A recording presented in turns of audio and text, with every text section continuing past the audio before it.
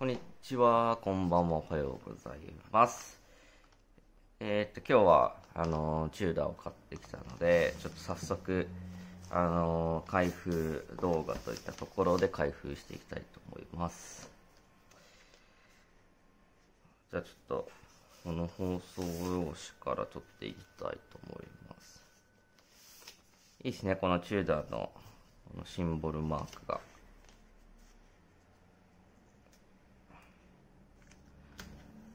まあ、結局この放送用紙してるんですけどまあなんか最初は綺麗に開けたくなりますね。なんか綺麗に入ってるんで。はい。じゃあ開けていきます。あでもなんかはい。はいはい。で今回ですねあの大丸のあのチューダーショップで買ったのでこの大丸のなんかこういう袋が入ってますね。でこれはいつもの説明書ででなんかいろいろご利用いただく際のなんか注意事項が入ってるやつです。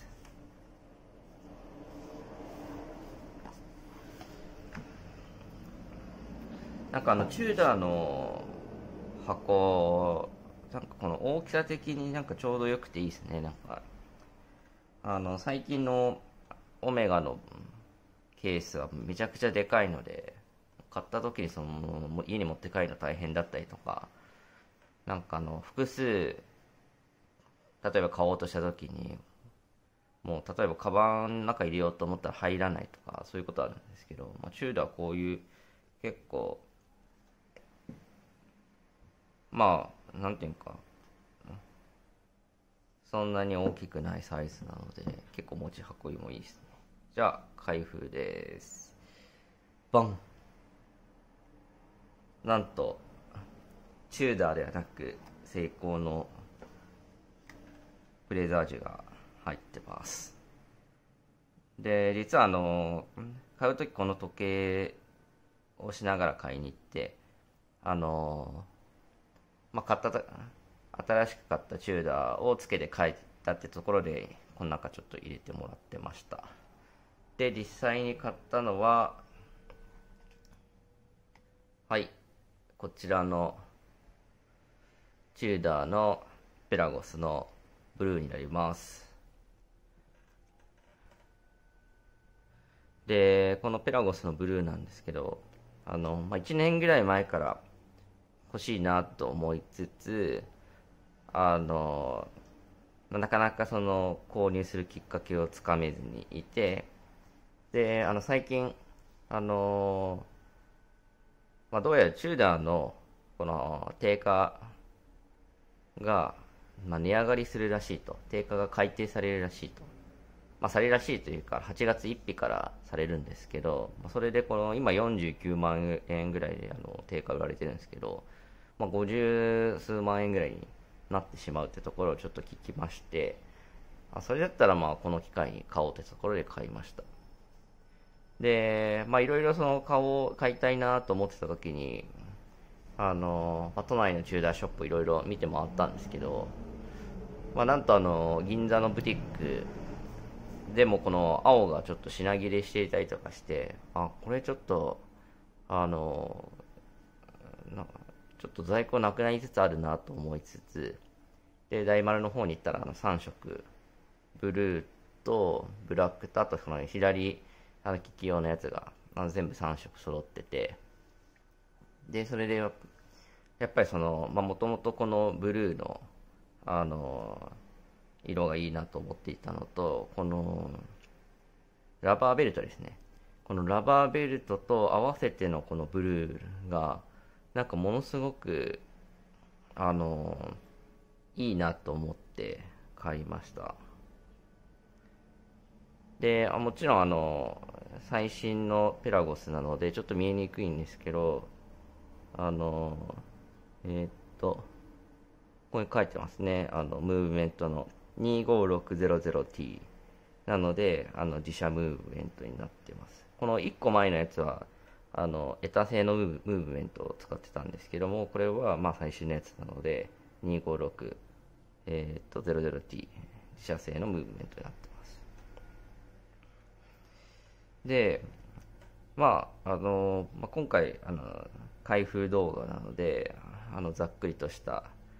あの、まあ、感想なんですけど、まあ、まずあれですね。あの結構、まあ、大きいなと思いました。結構こういうあの僕の手腕細いので、まあ、大体腕より腕と腕の太さよりギリまあちょっとやや小さいぐらいでまあ結構腕の太さと同じぐらいの大きさですと。ただあのチタン製なのであのめちゃくちゃ軽いですと。で今、まあ、ラバーベルトつけてるからもうさらにすごい軽くなあの軽くなってるんですけどあのこっちあの58であの小ぶりのチューダーの小ぶりのダイバーウォッチなんですけどもあのこっちのチューダーのペラゴスあのチタンのブレスをつけた時であったとしても多分こっちの方ペラゴスの方が軽いですね大きいですけど。こっちのチューダー小ぶりのダイバーなんですけどこっちの方が多分重いかなとは思います。なのでまあ大きいんですけどもあの見た目ほど装着してる時になんかあの重たい感じだとか違和感はなくて割とその日常使いにすごくいいです、まあ、やっぱりこの本格ダイバーウォッチってところであのまあなんか海軍とかにもなんかせなんか採用されていたりとかなんかそういうするらしいのでそこの辺はまあなんていうかプロフェッショナルが、まあ、日々あの実際の任務で使えるレベルぐらいの実用性はあるのかなっていうふうに思いました。であとこのベゼルなんですけども結構ベゼルはあの固めに作られてますね。多分やっぱりそのプロフェッショナル用なんで、まあ、簡単な衝撃で回らないようにってするために固めに作ってるんだろうと思います。であと初めて知ったんですけどこのベゼルのこの12時地点のところはあのちょっと固めにあのなってるそうです。固めにその周りにこの地点だけちょっと回りにくくなってるみたいな。他は回しやすくてこの12地点のところはちょっとこの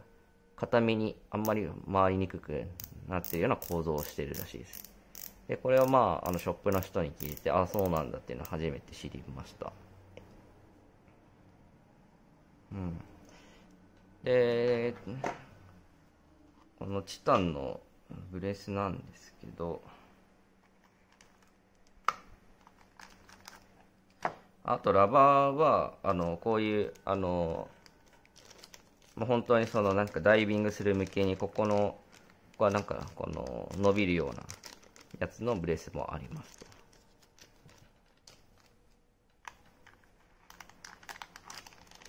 で、あの、こちらが、あの、チタンブレスになってます。ちょっと開けてみましょう。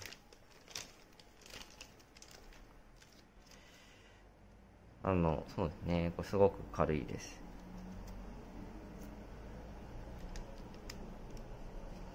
で、まあなんか大丸のショップの人、なかなかあの気が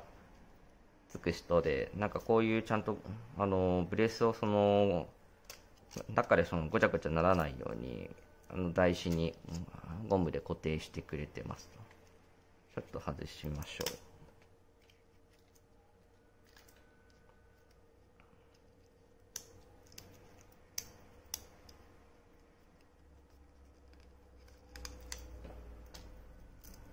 はい、こんな感じになってます。まあ、めちゃくちゃ軽いですね。うん、全然、全然違います、重さが。すごい軽いです。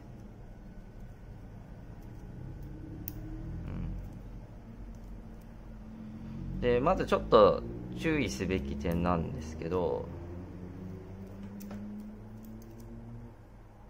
あのここ、あの、傷はうんついてるの分かりますかね？ここら辺。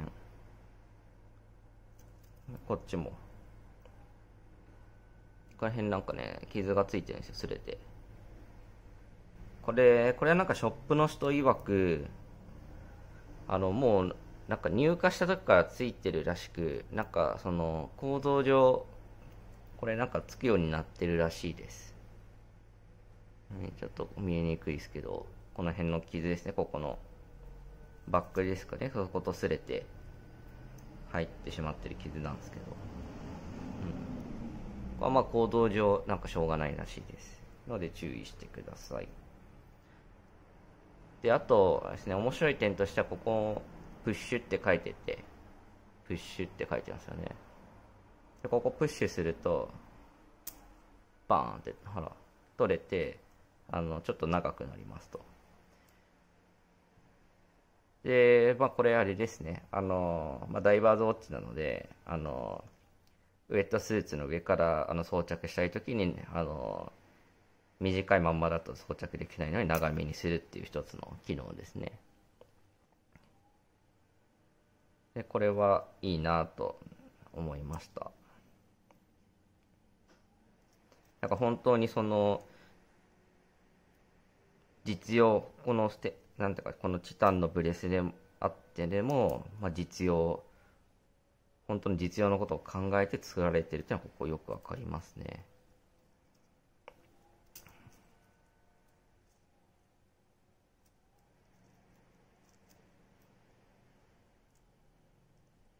うん。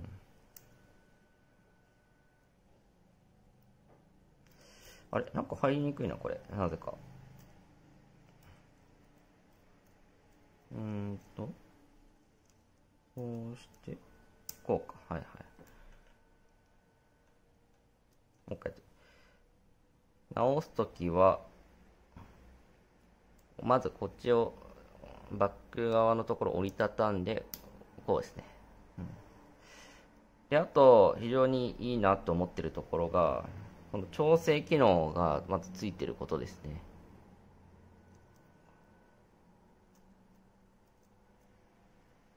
これを。あれ？うんと。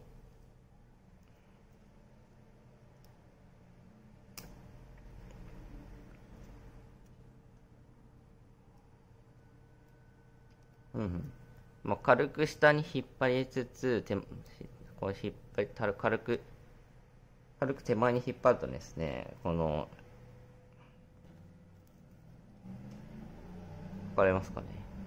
ここの下の金具がちょっと盛り上がってあの動かせるようになります。でこれでまずこの3段階。1 2で3この3つのこの点々で調整できますと。でその後の上ではですねこれはもうダイビング用であのまあウェットスーツの上からまた着る時とかもこれでこの伸ばして装着できるってところですね。うん。これはなんかあのこれこういうのはちょっと他の時計では見たことないのでちょっとチューダー独特かもなんかと特許をこれ取ってると聞いたことあるのでなんかチューダー独自独自のあれかもしれないですね。っていったところがすごく特徴としてありますと。であと他の注意点としてはあのまあこのまあ、ブレスのコマをなんか調整してもらってるんですけど、あのー、この調整をした際に、どうやらこの中にこう接着剤を入れて、なんか取れなくなるよう、なんか取れにくくなるようにしてるらしいんですよね。なので、あのー、ここにちょっとちょっとカメラのピントで合わないかあれなんですけどここに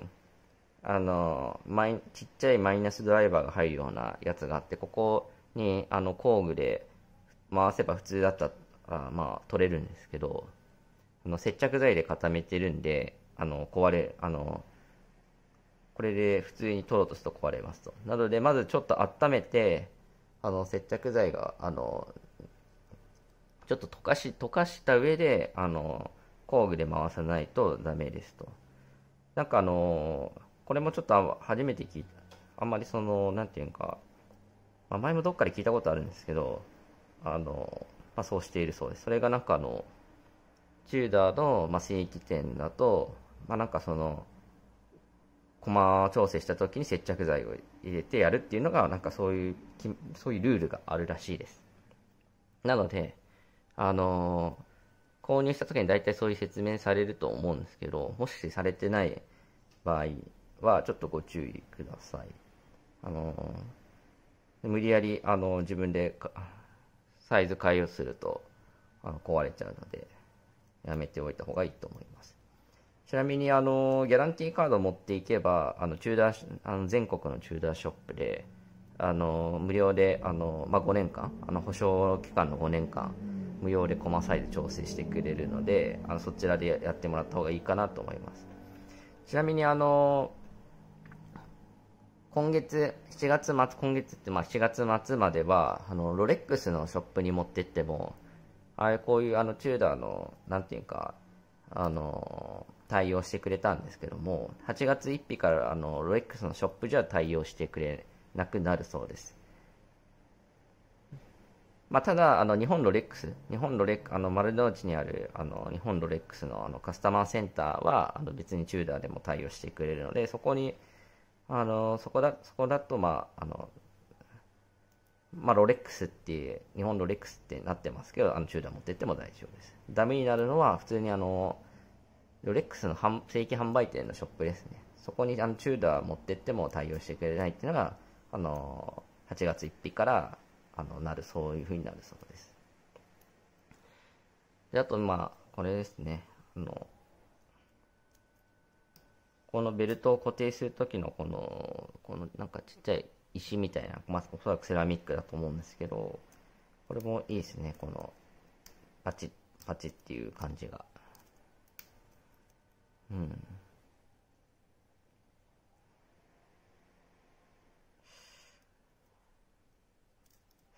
でやっぱチタンはまあ軽いこの軽さこのなんかてもう鉄をもうなんて言うんだろうこのなんかまるでプラスチックを持ってるような軽さはすごくいいところでもあるんですけどあのステンレスみたいにそのピカピカしすぎてないっていうのがいいですね。この鈍いこの鈍いというかこの渋い光。こうステンレスだとすごく、まあ、ピカピカしてそれはそれでいいっていうのもあるんですけどこのチタンのこの鈍い感じの光り方もなんかすごくいいなと思い思います。ただあのチタンの注意点としてはあのステンレスだと傷が入った時あの削って削ってとか研磨してあの綺麗にできるんですけどステンレスの場合はあの研磨はできない研磨対応はしてないそうなのであの傷が入ったらあのその傷が入りっぱなしっていう感じです。まああのまあステンレスで、まあ、研磨したら研磨をしてきれいにするとまあそれはそれでいいんですけど研磨したらやっぱ削れちゃうんであの元に戻らないっていう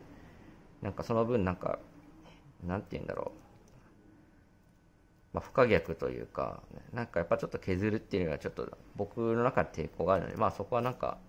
あの別に傷が入ったままであのいいかなとそんなに削ることは想定しないのでいいかなと思いました。あとブレスなんですけどもこういうちょっと滑らかにちょっと大きくなるような形にしてますね。でちなみに55だとあのこうだんだんだんだんっていう感じであのトントンだんだんだんがある感じで小さくなってるんですけどペラゴスはこの滑らかにになってますね。これ多分ロレックスと同じような感じかなと思います。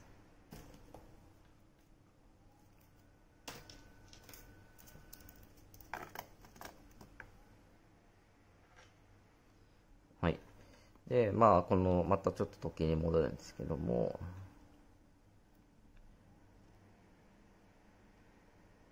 やっぱりこの、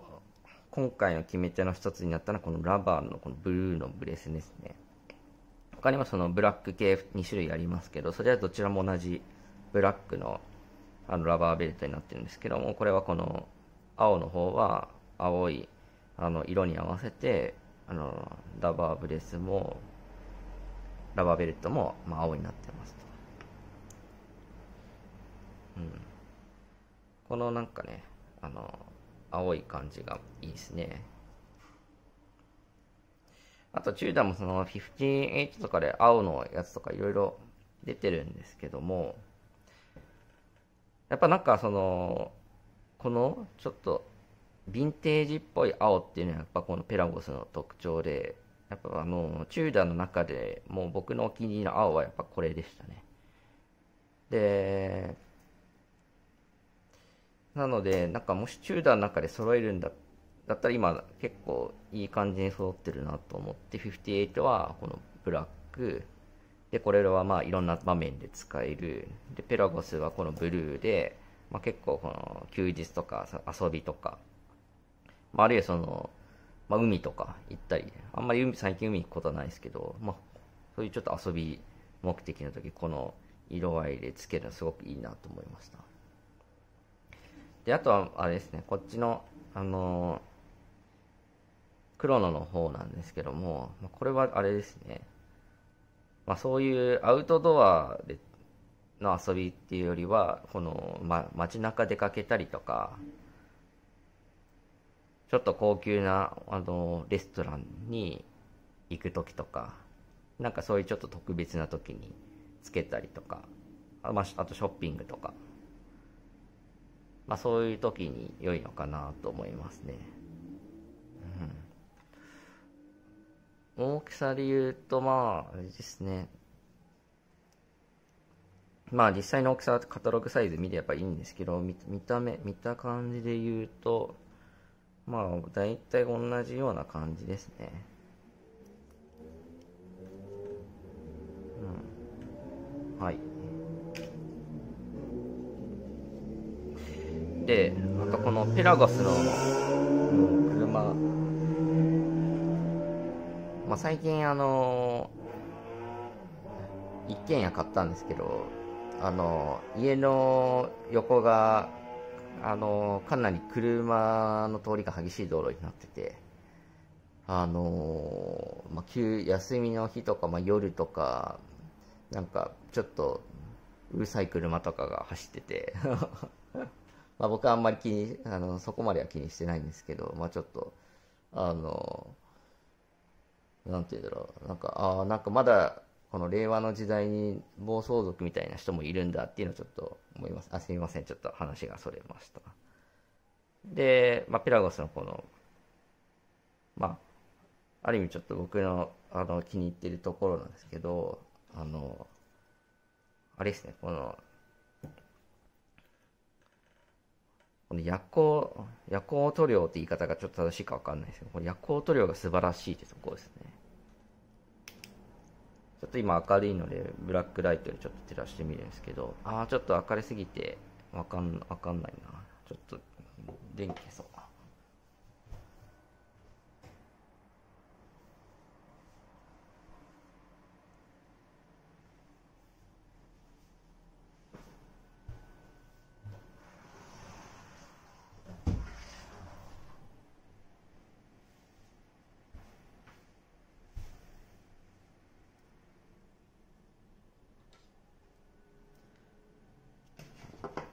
ですね。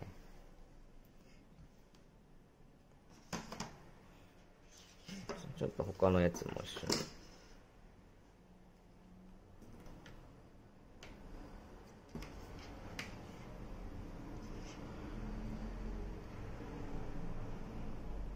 夜光塗料がこのベゼルにもついてて、ベゼルも光ってるんですよ。で、今ちょっと、めちゃくちゃ明るい時間帯なんで、わかりにくいんですけど、非常にこれを真っ暗になった時、すごくいいです。どうしたらうまくわかるかな。はい、えー、っと、ちょっと暗いところに移ってきました。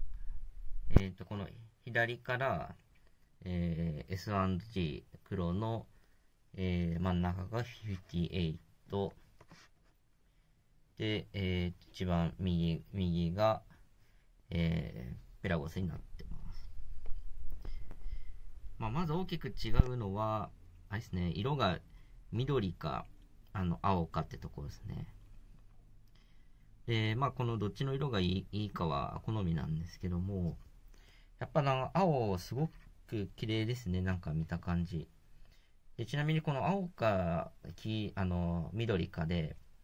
あの、なんていうか、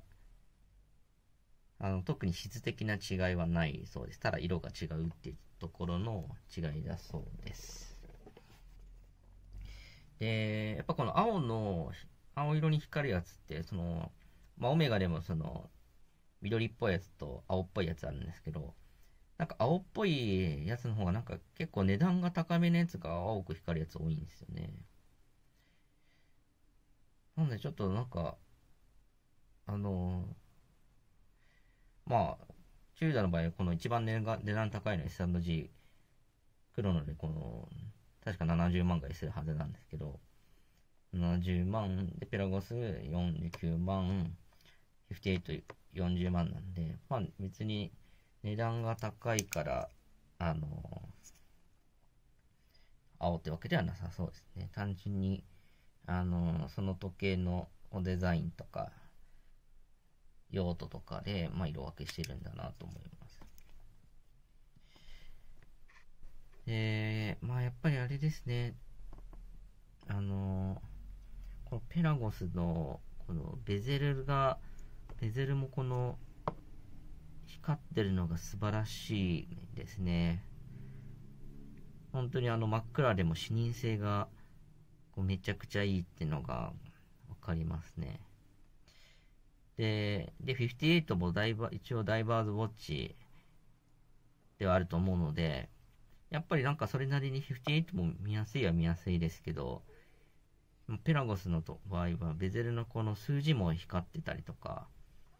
あとはこの、あれですね、この、まあ、最初の15分間、まあ、あの、細かいあの、なんて言うんだろう。部分も、あの、1分間隔で線が引いてあるので、まあ、すごくわかりやすいですね。で、まあ、クロノの方は、まあ、やっぱり、あの、ダイバーズウォッチではないっていった点から、あれですね、なんか、そこまで、まあ、これも十分見やすいですけど、58と比べると、まあ、若干、夜光塗料のその一つ一つの点の大きさとかも、まあ、小さかったりとかはしますね。まあ、あとはその日付の入ってるとことかもあったりとかするので、あの、あとはその黒のの時間の計測するところですね。そこで、まあ、夜光塗料がつけれないっていったところで、まあ、まあ、若干、あれですね、あの、まあ、真夜中での視認性っていうのはそこでちょっと悪くはなってますね。まあでもそういう用途ではないので、それでいいかなと思います。うん、もう少し、うん、アップしてみたいと思います。いいですね。この色が。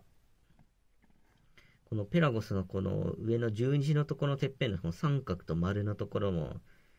ちゃんとあの、光ってて、すごくいいです。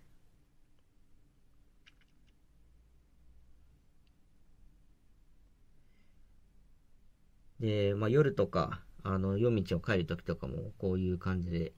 光るので、まあ、時間も見やすいですし、なんかすごくデザインもいいので、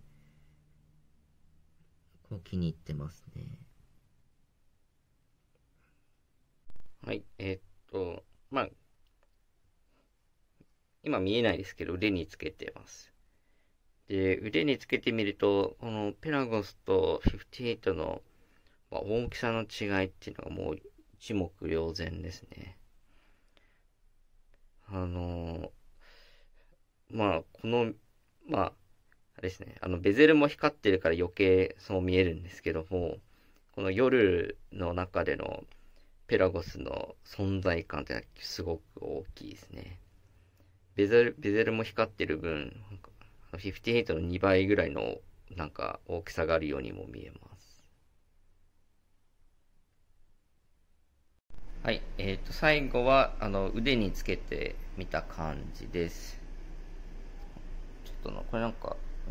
汚れてますね。はい。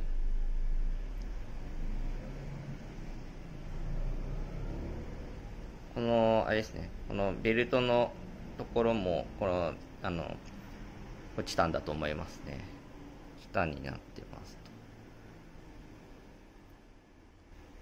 筆記で見るとこういう感じで、やっぱこの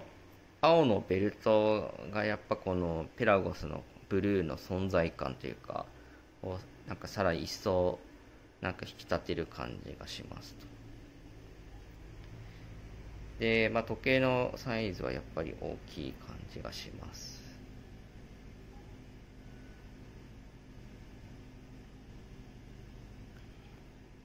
はい、えーと、今日はこんな感じでチューダーピラゴスの、えーと、開封動画あおっと？この一応これ 500m 防水ですね。あの言うの忘れてましたけど。58はあの 200m 防水なのでやっぱりあのこっちのピラゴスはあの、まあ、かなりプロフェッショナル向けといったところであの防水性能もすごく高いですと。